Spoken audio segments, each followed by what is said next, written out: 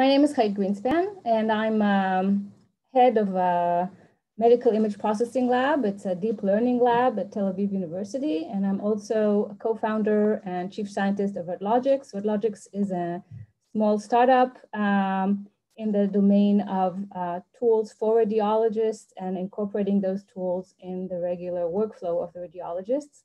And in this, um, and in this work here on COVID, um, we are um, actually a joint effort of engineering um, from RADLogics as well as several universities uh, and medical centers. And um, uh, I want to thank all my collaborators. Uh, and I'd like to share this particular work here. You also mentioned we had an ISBI session. So in, in April, we had an ISBI session that was on COVID as well. But let me now um, uh, focus on, um, on this particular work that uh, um, I showed a little bit of it there and we'll show some here as well. Um, so our story begins with um, um, a system of uh, RADLogics that was deployed or is deployed in China, in fact, and um, this system uh, is a, a cloud-based system, and you see the viewer uh, on the left, uh, the reporting uh, um, part of the radiologist workspace in the center, and on the right is actually um, the way that the AI um, tools uh, were, are introduced to the radiologist. And this is one particular implementation that was uh, done in China. And these tools that um, we support uh, as I mentioned, um, detect a variety of things in, uh, in the different scans that the radiologist sees uh, and report the findings with these key images that you see here and different measurements um, for each of these findings. So there is a chest CT package that contains several findings, including a nodule detector.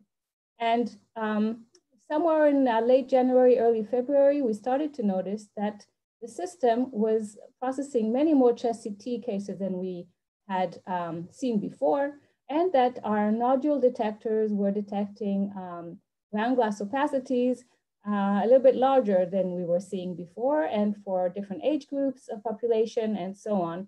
So uh, we immediately understood that there was something different going on. Um, and this um, was then confirmed by our colleagues the radiologists that were starting to publish um, their understanding of the various findings of the COVID um, pandemic.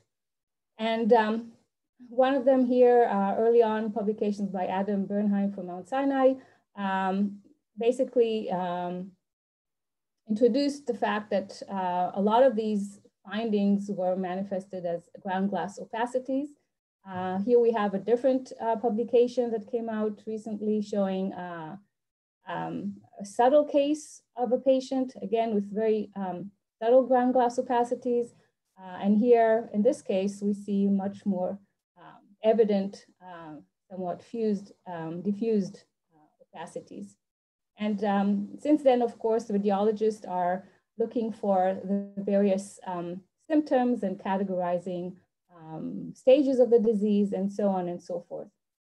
So um, we um, saw that the tools we had, specifically the nodule detection tool, uh, was able to find the smaller ground glass opacities, and we decided to see if we can quickly um, build uh, additional tools to uh, get all the uh, ground glass um, appearances uh, within the images. And the goal was to see, of course, if AI and imaging can support the um, diagnosis, the um, quantization of the disease, um, the tracking of the disease over time, and many of the things that were already presented here and discussed today.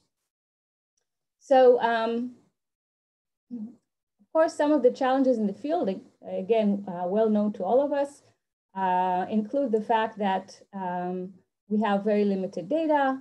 Um, we have, um, for that, we can do different techniques that we're familiar with, like directed transfer techniques, uh, augmentation techniques, and so on. Um, it was also mentioned here before me that uh, we have very limited expert time these days.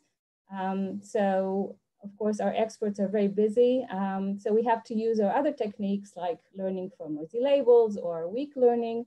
And what we want to see is if we could come up with a solution that is robust enough, even though we have all of these challenges in our hands, in order to really make a difference, we have to be robust to um, the different populations worldwide. And um, some of the tricks we, um, we're looking at um, were developing something rapidly based on uh, existing networks, existing technology. Uh, that technology can come from different modalities or from different tasks that we've done before. Um, so really trying to push the limit on transferring and um, augmenting the data that we do have. The basic um, system solution that we are currently still working on uh, is uh, shown in the diagram here. The first, uh, it's com comprised of two paths. There's a 3D path in which um, we use a nodule detector that I've mentioned before. Uh, it's a 3D system that uh, has been working for several years. It's quite robust. And that um, we saw could handle the small, uh, very small um, ground glass uh, focal opacities. Then, um, in order to detect the larger opacities, we had to build uh, an additional layer or additional network uh, from scratch. So uh, for that, we decided to go for 2D analysis. Um, and I'll go more in depth into this path uh, up here. So what we see here are several components of this 2D uh, solution. First of all, uh, we need to segment out the lung uh, as a region of interest. And here, in order to do that, um, again, this consistent step in most of the work that we see here today, um, we are using a U-Net, but it's a pre-trained uh, encoder U-Net. Um, I'll show you in the next slide a sketch of this particular solution. This um, solution that uses a VGG16 encoder, um, we introduced in MICCAI 2018. Um, and and um, what you see here is an input image and output mask that we can extract automatically. Uh, and in, the, in that conference of MICCAI 2018, we um, showed that it performs very, very well as compared to many of the other varieties of uh, networks that we can use uh, on this challenge of uh, anatomic structure segmentation that uh, is a well-known challenge. So um, this U-Net uh, that is pre-trained uh, is our first component to extract in a very robust way the lungs and find the region of interest. Now, once we have that, we need to classify and for that, we use the um, ResNet 50 uh, network. It's uh, also pre-trained. Um, sorry. And um, it's a basically, it's a basic uh, 2D slice by slice decision, yes or no, um, classification of COVID or non-COVID. Okay, so for that, um, there are two things that we're using here that support the analysis in this very limited data scenario. One is we're doing this in 2D, so we have, uh, it's not case by case, but it's all the slices. Um, and we have weak annotations for these slices, so we only have uh, yes or no per slice. But we notice that what we want to extract is the decision as well as a localization map. So um, for the um, localization, we actually use um, the, a multi-scale Grad-CAM solution by uh, fusing multi, multiple scale um, activation maps. And with this um, solution that we're proposing here, we can achieve fine grain segmentation. And we achieve this fine grain segmentation using only um, slice-based annotations. So again, we have a, somewhat of a trick here that we can uh, save on the annotations, save on our data, and extract very nice um, output segmentation maps, which you see here. Um, for, each, for each slice, we have its corresponding uh, fine grain heat map. In terms of the classification, um, so for these uh, 2D classification tasks, we have very high sensitivity and specificity. You see here two different operating points. Um, and um, so, so we are, it's a, it's a very uh, robust classification um, solution. Now, 2D um, is just a way for us to, to proceed to the full 3D case. And what you're seeing here is, uh, is a 3D case um, visualization, where in green, we have the solutions uh, for the um, more focal opacities, the, the, the ones that we achieve from a lung nodule detector. And then uh, in red, you see um, the areas of opacity for uh, larger diffuse cases. So um, we have this ability now to take a case and present this, uh, this map in 3D. Um, as was mentioned here in several of the talks, in many cases when, uh, when the um, decision is to use the CT as a, as a, as a key tool in the understanding of the disease or, or the tracking of the patient, um, several time points are taken. And this leads us to um, suggest that we can use um, the quantification that comes with our automatic detection to um, monitor the patient over time. Uh, for this, we, we came up with a score, we call it a corona score. It's a volumetric measurement of the opacity burden.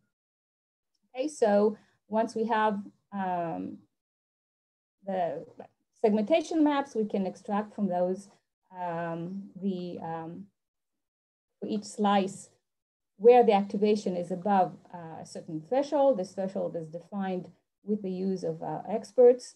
And then um, we, we basically um, can extract and, and define this measure. We can see it here, I believe.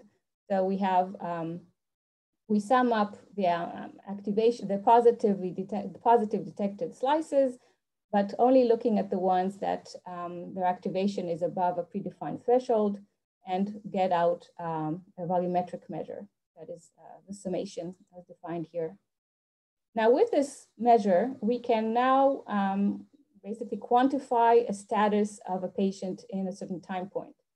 Uh, we see here three different time points for a particular patient, um, and we have the relative, we have the scores um, on the top. We can also provide a relative score. So we will start with a one and then um, see the, the um, relative uh, uh, process of the disease for that patient. Um, so what we see here are 18 different patients that we, uh, are, we can now view in, these plots. On the left, you see the corona score for each patient over time. Um, this can give us a relative um, um severity um, of the extent of the disease per patient. So on top are the um, larger extent and larger, more severe situation of, uh, of, of, the lung volume and versus uh, the patients here on the bottom. So this gives us a relative uh, understanding of, uh, of the severity of the disease in terms of its extent. On the right, we see a plot that um, uses the normalized score. So every patient will start at one, and then we can see how that patient um, basically what, what the course of the disease is for that patient. In some, some cases, we see that um, the first uh, few, few time points um, situation um, deteriorates and becomes more severe. And only after a while, it starts decreasing and we can see recovery. And in other cases, we see a, a quicker trend toward recovery. So these kind of plots, uh, we believe, uh, and have received some uh, feedback from different radiologists around the world, um, may have a potential to support the understanding uh, of a certain patient cohort and um, basically also in the future enable us to predict um, the course of the disease per patient over time, and of course then help us um, support possible treatment options and so on, and, and uh, management of patients in the hospital, and so on and so forth. So um, some, um, some results uh, using the Corona score. So um, we see a very, uh, uh an area under curve score of 0.9, almost 0.95 for um, actual detection of this disease uh, for a cohort of 100, more than 100 patients with confirmed COVID versus almost 100 non-COVID uh, patient. And um, we can also try to start looking at our measure um, and compare it to radiologists' um, severity scoring.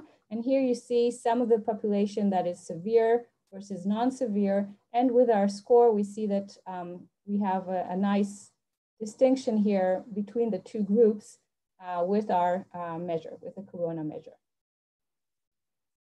Similar kind of ideas we are um, now exploring or already developing for X-ray. So um, this was all for CT, but the same idea as we can do for X-ray. Um, as people mentioned, there are areas in the world where um, X-ray is more um, is, is, is the more common um, imaging that will be used or is currently used for patient diagnosis and treatment support.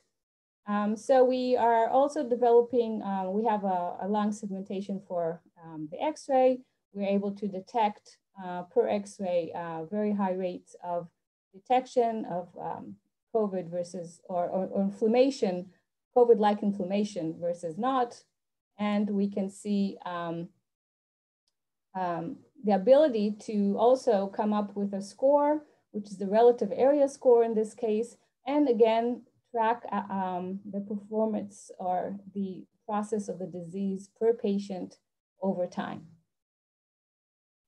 So um, some, let me um, start with um, some concluding thoughts. Um, our goal was to see if AI and imaging can support, and we believe, as we've seen in many of our in the previous presentations, that we can in fact develop uh, very strong tools. Um, the interesting thing here is that we are all talking about a very short time period of a few months, uh, and we were able to develop these tools very, very rapidly. Um, and I think that shows the strength actually and the potential of using AI models. Uh, today it's for COVID-19, and then as we learn how to use them, we can, of course, um, be able to do so even, uh, even uh, more robustly and, and better next time around when we need to explore something new. And I think this is one of the very exciting things that we see here. I think it's the first time we're actually learning together with the radiologists. So it's not something we're learning from the radiologists, but in fact, we're learning with them. Um, we still have a major question, and that is, are we going to actually be able to affect the clinic? And can we really put this to use? Um, and there are some places in the world, like China, where it seems to be the case where um, a lot of CT images is used, and therefore you would assume that we can definitely uh, contribute there. Um, I want to share with you another location that um, through this um, platform that Logix has, we uh, basically introduced the measure back into some clinics, and this is in Russia. Um, this is um, Dr. Morozov in, in uh, Moscow. Uh, his center is actually responsible for 120 different hospitals in the region, and they actually and they do use um, CTs, many, many CTs.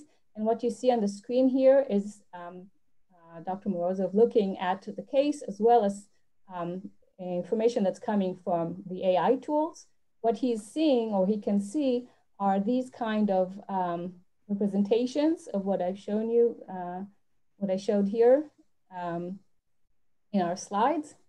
And super interesting to see is the amount of cases that are now being processed um, using the AI tools. And we're talking about um, reaching a point of 5,000. We already had a day that had 5,000 CT scans that were um, basically passing through this um, center and all of them being processed uh, with the AI tools, providing the visualization and providing the, the measure, the quantitation.